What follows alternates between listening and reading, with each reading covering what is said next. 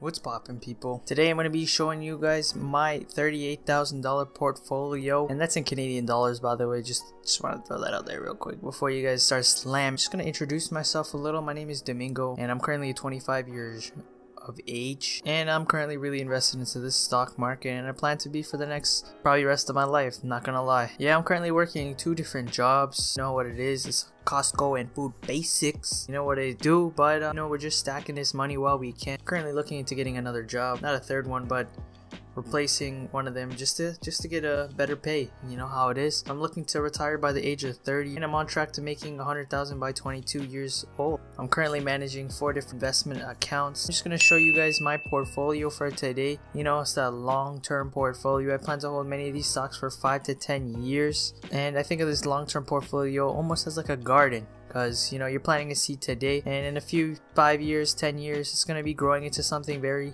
very majestic and beautiful. You know what i'm saying? Also have an options account probably like a rack rack and a half give or take because you know we lose and go up and down and up and down but you know, we don't we don't really talk about that. We're not going into that today in this video. Here are some of the stocks that I be holding right now. First stock we are going to be looking at is Carnival Cruise Line, and unfortunately, I bought this stock right around uh, before the COVID. It's paying out seven percent, eight percent, seven percent, seven percent dividend yield. Great company, great everything, great earnings. But then, you know, the once in a hundred year event occurred and that Carnival Cruise Line went to went to booty cheeks went to shit. Really unfortunate the turn of events and what happened, but um, yeah, they slashed their dividends. They're not making any revenue. It's very upsetting, actually. It's very sad. Quite quite sad to see. Fortunately, though, I didn't put a ton of money into this one. I only put around was it $479 almost down around 48% almost 50% on this investment but I thank god I didn't go crazy on this one. Yeah super super sad. I don't even want to buy any more shares. It's gonna take quite a while for this stock to go back to where it was. We're not gonna worry about that. Anyways moving on.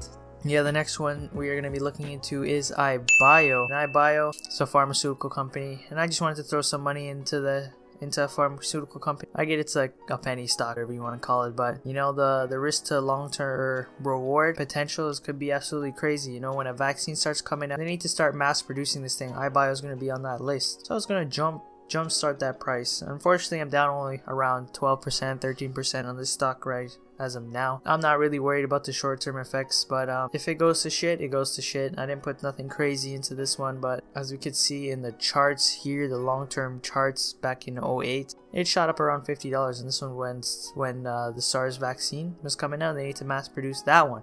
So, hmm, you know, $700 to 14000 Yes, sir. Next one we are going to be looking at is Qualcomm. And this is a 5G stock that I was interested in. It's partnered with Apple as of now, working to get the 5G onto phones. And this stock, I'm currently up over 20% on this one. And I only put it around uh, $500, $457. And yeah, it's up to $547. So, you know, nothing too insane, but still very good. I love this company a lot. Maybe I'll add some shares later on in the future, but as of right now, I got another one I'm looking at very into and I want to get more of, and that is Facebook. This one, I have around 12 shares in Facebook, and I'm currently up over 7%. And uh, yeah, I think this this stock right here is definitely a sleeper when it comes to tech uh, giants. I'm telling you, many people are not going to be like thinking about this one in a few years, but this, this stock could easily go over 500, 2x my money, maybe even 700, 800. We're going to have to see in 5 to 10 years, but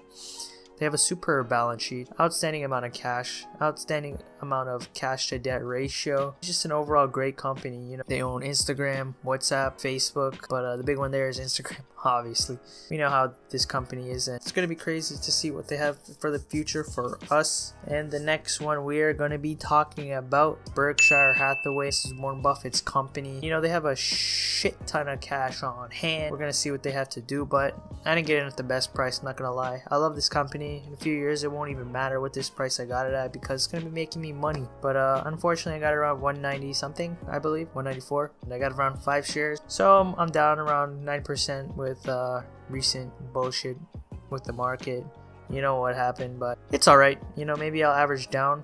Yeah, we're gonna have to see what happens. But uh, yeah, we're gonna be finally getting into the biggest winner here in this portfolio. Love this very much. Love this position. Glad I got in when I got in. It is Tesla, and I got 15 shares right now, and I put around 7,300, and that's American. Not to mention Canadians, probably like what 12,000 or so. Nah, I don't know the conversion. America's scamming us Canadians. Currently up over 119%. Oh my lord. It's going around $1,200 a share right now and it's absolutely insane. You know, it's great. Great for this portfolio. Great for me.